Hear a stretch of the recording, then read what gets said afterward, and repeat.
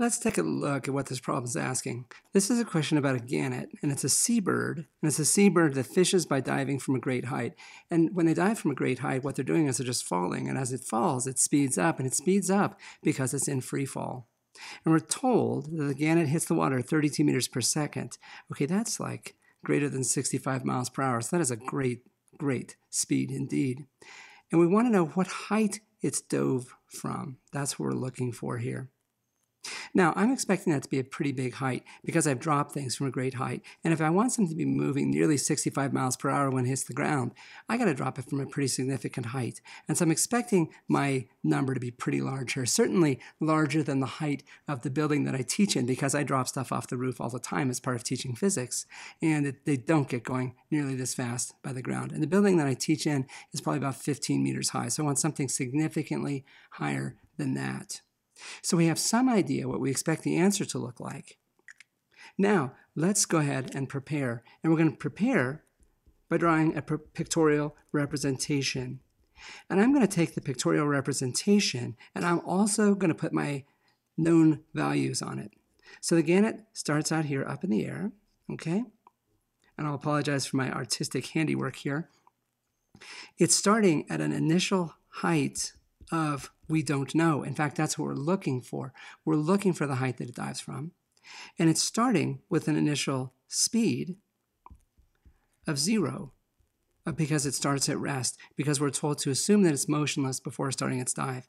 Then the gannet falls, the acceleration is directed downward, okay? The acceleration is downward, and we know the magnitude of the acceleration is 1g. So in fact, the acceleration is negative 9.8 meters per second squared, directed downward. Okay, we know that that's true. Okay, and then at some time later, the gannet makes it to the surface of the ocean, and it's going to dive into the ocean at this great speed. And we're told that the speed that it hits at is 32 meters per second. The initial, or the, the, the position here, the final position, is zero meters. That's right at the surface of the water. So it drops from a height that we don't know to zero meters, speeds up from zero meters per second to 32 meters per second. From here to here, it's accelerating at 9.8 meters per second squared downward, and so the acceleration is negative 9.8 meters per second squared. Now, this is a one dimensional motion problem. We know the initial speed, we know the final speed, we know the initial position. Actually, we don't know the initial position. We're trying to find this. We know the final position. We also know the acceleration. The one fact that's missing from this whole description is time. Time does not appear in anything we're told or anything we're looking for. So we want to use a relationship that doesn't use time. And the basic relationship we'll just use is this. We use our basic kinematic relationship that says the final speed squared is equal to initial speed squared plus 2 times the acceleration in the y direction this time times the final position minus the initial position. And with that in hand, we're ready to solve the problem.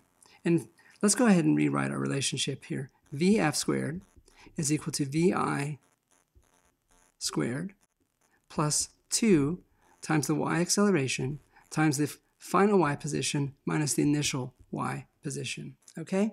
And we know these values. The initial speed is just 0 meters per second. The final speed is 32 meters per second. The acceleration is negative 9.8 meters per second squared.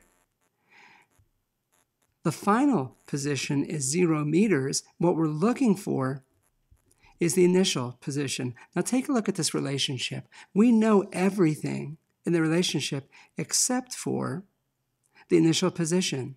And that's what we're trying to solve for. So we can put in numbers, we can rewrite the equation, and we can solve. And with a little bit of algebra, we come up with this. The initial position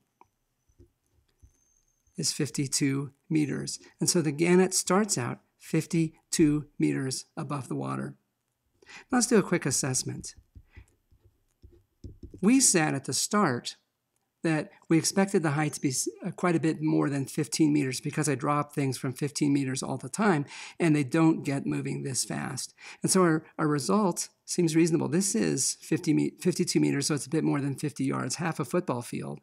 That's a pretty great height. And when something falls from that great a height, it's going to be moving pretty quickly. And that's of great service to the gannet because it hits the water moving this fast and it's going to go under the water a pretty good distance. So our final result is that the gannet drives from a great height, it hits the water at a high speed, and our final result matches our understanding of the way the world works.